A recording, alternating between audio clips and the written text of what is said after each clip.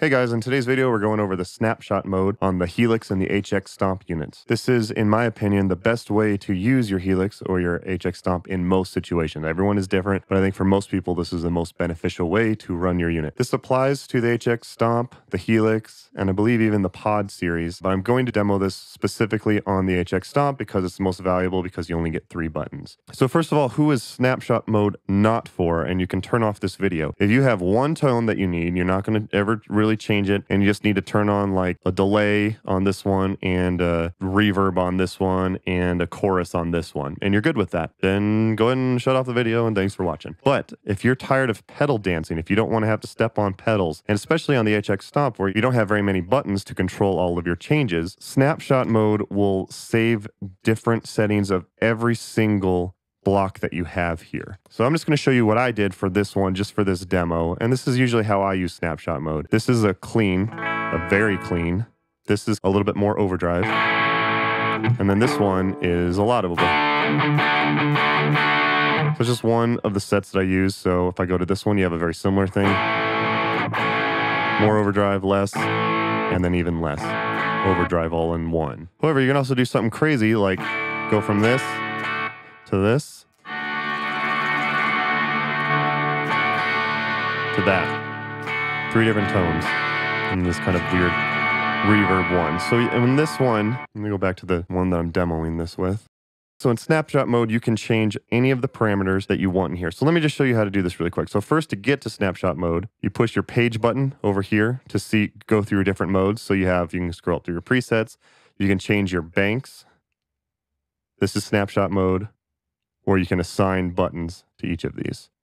So this is the snapshot mode, the one says one, two, and three. So what you do in here is if you want to change something, so I'm using the Soldano amp. This is kind of my my heavy distortion channel. Most people need three tones for the most part, a clean-ish, rhythm-ish, and then a lead channel. This gives you that option in order to do this. I actually, at the end of the video, I'm going to show you how I do this with a little extra pedal that I do for the boost. So I'm just personally going to show you how to do three different types of tones and how to get those with snapshot mode. I'm going to darken my camera just a little bit so you can see that better. I know you can't really see what's going on over here, but hopefully you can see the screen better. So what I can do is if you watch, actually let me go to here. So the drive on this channel, when it's on button three, it's at 7.3.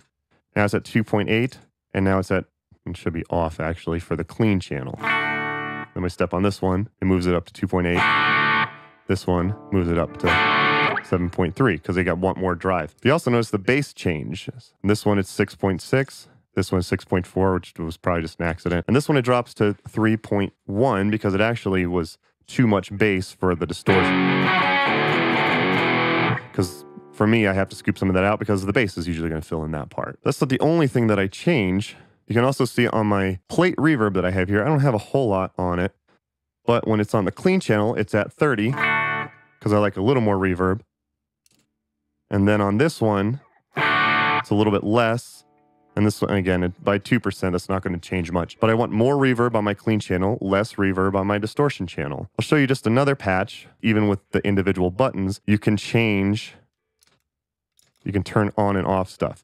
So do you see how my gain and my, this is my gain right here, and then this is my distortion right here. When I'm on this one, my distortion is off and my gain is on. When I switch here, it switches those. This one is now on, the distortion is on, and the gain is off. Does that make sense? So it's a way to keep from pedal dancing. It's just a very efficient way to do that. So how do you set these up? So what you do, so let's just let's just reset this just for the sake of the video. I'm gonna set a gain in here again. So as you can see, when I cycle through the buttons, gain isn't changing, nothing changes. It turns on and off, as you can see, but the gain doesn't change. So the way to do that is you take the button, let me brighten it just for a minute so you can see this.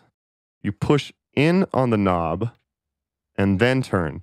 See how it turned white? It changes the color. You might not be able to see that on the camera, but you'll see it for sure on here. So when you push in and twist, you're going to see it change colors slightly. That means that it will remember what settings you have on each specific snapshot. So see how I change back here? Now it's at negative one. Now the problem is I didn't save it. So if I push in and twist, again, I'm trying to find the, the right settings so you can see the screen and what I'm doing. You push in and twist the knob and it changes. So now I'm going to save this You push both of these two buttons right here, save it. And now if I go back, see how on this button, it's at negative 1.1. Here it's at plus 2.3. And here it's on and at negative 0.1. Does that make sense? So again, you can do this with whatever you want. So let's say on this button right here, I want to turn the wow flutter of my delay all the way up. Just a really crazy sounding one. Then save that. And then say on this same preset, I want to do a boost or I want to cut my 2K. For some reason, whatever reason, I want to do that. And then again, you would save it. That's the tricky part. You have to remember always save it so that it remembers that. And now if you look here, 2K is boosted by 2.2, and now it's cut by 3.2. Does that make sense? So again, go crazy with it. Sometimes I'll have like this, like a bass, and then to like a tremolo,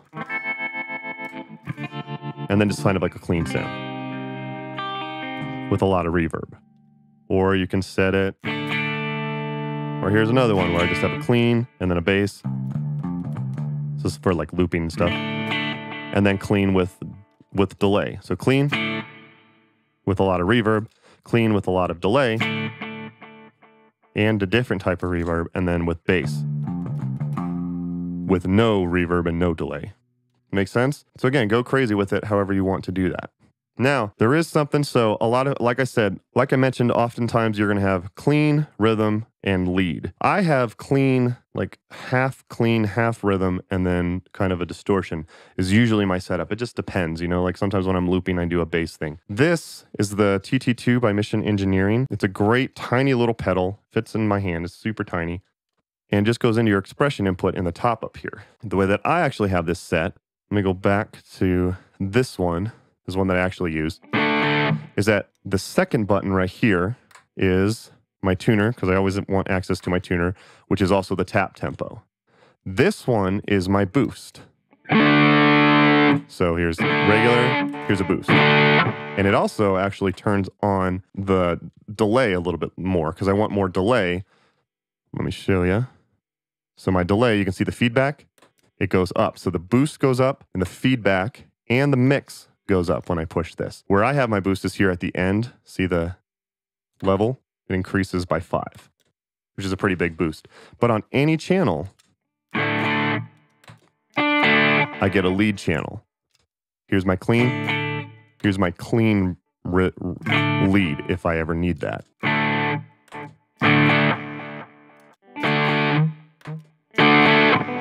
So that's actually really helpful in order to get, because I still like to have my access to my tuner and my tap tempo, but this is now my lead. And the way that I do that is you go to, when you're on the effect that you want, tap the, double tap these bottom two, the two pages, controller assign, and I'm going to set the feedback parameter to foot switch four, which is this one. So you don't get four you don't get like five snapshots with this. This is just two extra buttons.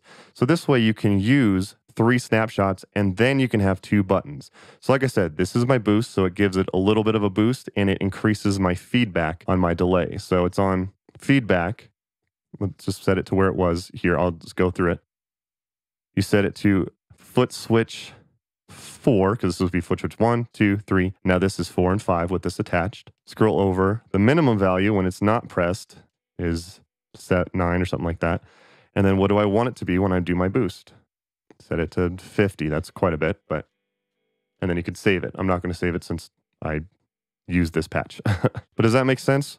So this is actually a really nice feature because that way you still have access to two buttons in here somewhere.